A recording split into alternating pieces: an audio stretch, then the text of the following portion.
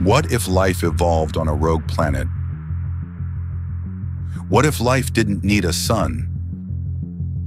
Imagine a planet drifting alone in the void, no star, no daylight, and yet, something lives there. Rogue planets are real, ejected from their systems, they wander cold and alone. But deep below their frozen crust, tidal forces and radioactive decay could generate heat, enough to melt ice and create oceans. In this darkness, life might follow different rules, feeding on heat, not light. Microbial life forms could evolve near hydrothermal vents, just like on Earth's ocean floors. Over millions of years, complex life could arise in total darkness. But on a rogue planet, ecosystems are fragile.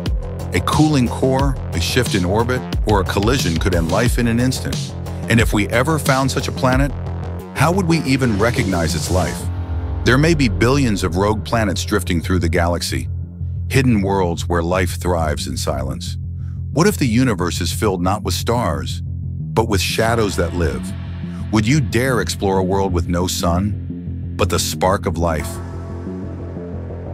Drop your thoughts in the comments. What next? And don't forget, if you don't subscribe, we might never meet again. But if you do, congratulations, you just got smarter. See you